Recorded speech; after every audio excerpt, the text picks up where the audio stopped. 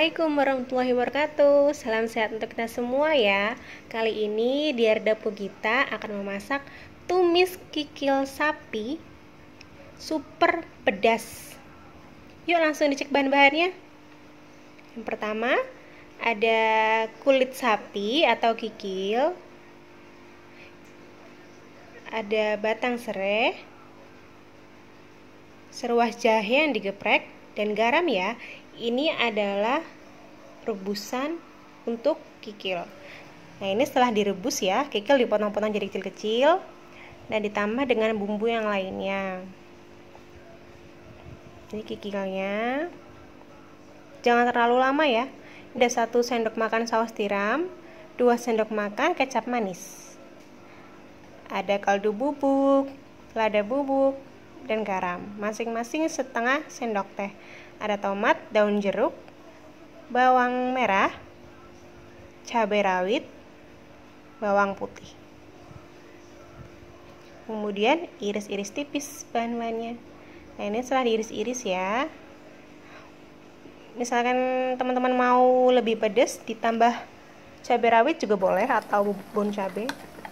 Panaskan minyak, setelah itu tumis semua bumbu hingga harum.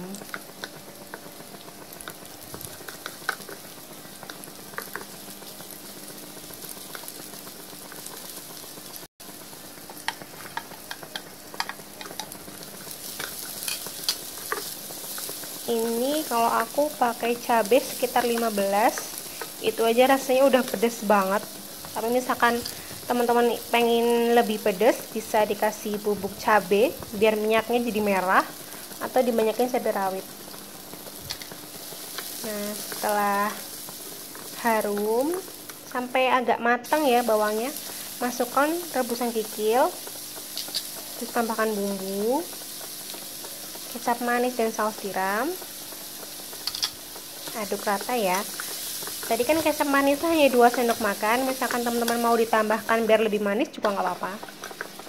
Ini tadi kepotong videonya harusnya dikasih air sekitar 3 sendok makan. Setelah itu diaduk lagi kemudian ditutup. Tunggu sampai airnya meresap.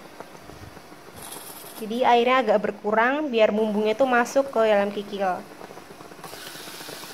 Nah setelah dicek sudah meresap ya jadi airnya tinggal sedikit ini bisa langsung koreksi rasa jika sudah pas bisa langsung dimatikan apinya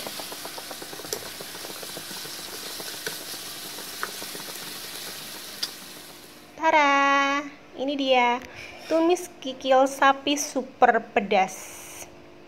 Hmm, terima kasih, selamat mencoba. Dadah.